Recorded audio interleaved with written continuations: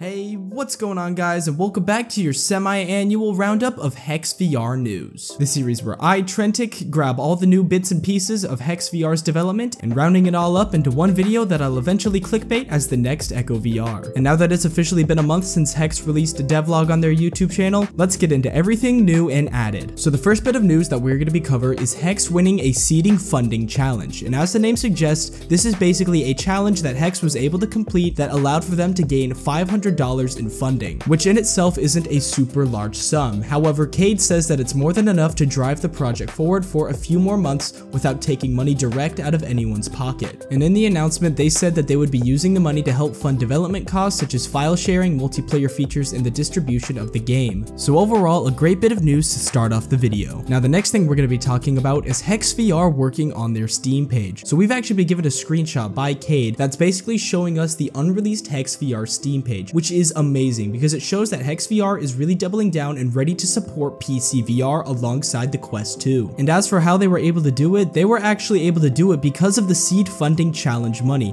which Cade attributes as a big part of them being able to put a deposit down on their Steam page. And speaking of this release, let's move on to our next bit of news, which is the roadmap. So let's read this out all one by one. In Hex's Alpha, which is where we're currently at, we get basic gameplay, basic arena, and basic multiplayer functions functions. However, in the second version of the alpha, we're going to get updated throwing mechanics and several test arenas, along with that username systems. But where this really gets interesting is the first beta, where they're going to actually have a functional game mode with full matches and upgraded servers, and along with that, open XR support and proper matchmaking for their arena, and hopefully a social lobby to couple that with an app lab release. And a comment on the beta, I gotta say, that's a very ambitious goal, and honestly, I'm super excited to see how Hex VR will be able to do this. But moving on to the beta 2, we'll have a Hex Underground map with a functional weapons system for testing, basic underground gameplay, and Hex Underground matchmaking. Then for the pre-release build, we're gonna be getting polished underground gameplay with polished throwing, polishing maps and social features, and a Steam release. Before eventually moving on to the actual release, where we'll have our full arena game mode with full matchmaking, social features, and Underground being in beta testing. So that's all we get from the Hex VR roadmap at least for right now.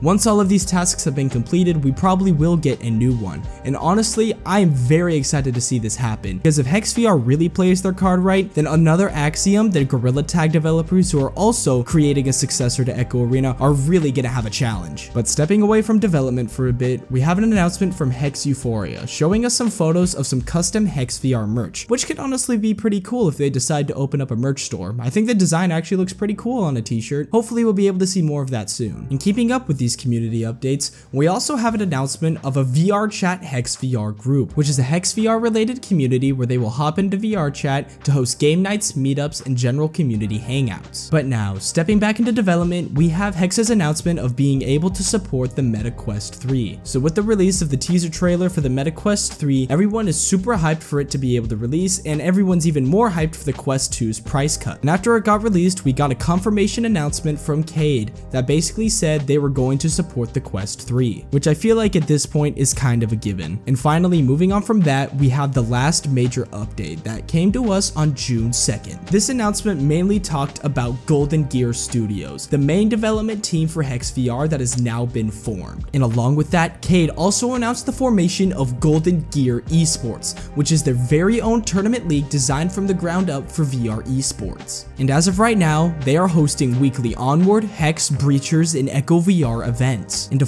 finalize this announcement, they also announced a new website called GoldenGearStudios.com, which if you want more information about their development team and Golden Gear Esports, I suggest you check out with the link in the description. Because with that said, that's gonna wrap it up for this video. So if you didn't join them, please don't forget to leave a like and subscribe. If you made it this far, comment below Hex VR is goaded and I will heart your comment. So with that said, my name is Trentic and I will be signing out.